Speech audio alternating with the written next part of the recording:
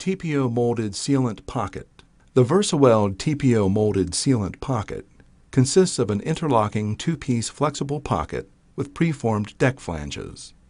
This product is used to waterproof pipe clusters or other oddly shaped penetrations. Step 1. Begin by cleaning the inside of the TPO molded sealant pocket, the pocket overlap tabs, the underside of the pocket flange, and the deck membrane with weathered membrane cleaner. Use a Scotch-Brite pad with the cleaner if the membrane has been exposed to the elements for an extended period of time. Step 2. Position the TPO molded sealant pocket around the penetration, overlapping the two sections of the pocket. Step 3. Place a piece of cardboard, approximately 4 inches by 4 inches, between the overlap tabs and the deck membrane. The cardboard prevents the pocket from fusing to the membrane when first welding the overlaps.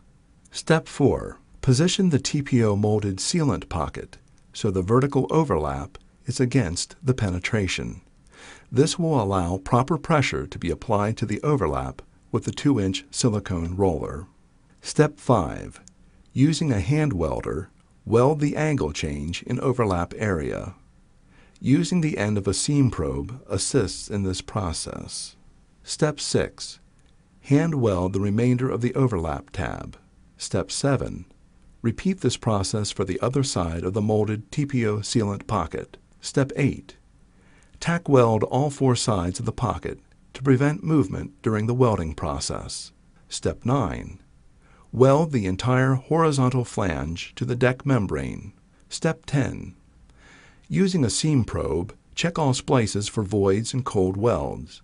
Make any needed repairs. Step 11. Apply a thin coat of Versico's V150 primer to the inside pocket walls and around the top rim, to the deck membrane enclosed by the pocket, and to the penetration. Step 12. Fill the pocket with Versico's thermoplastic one-part pourable sealer. Use an adequate amount of sealant to ensure that contact is made with the top rim of the pocket.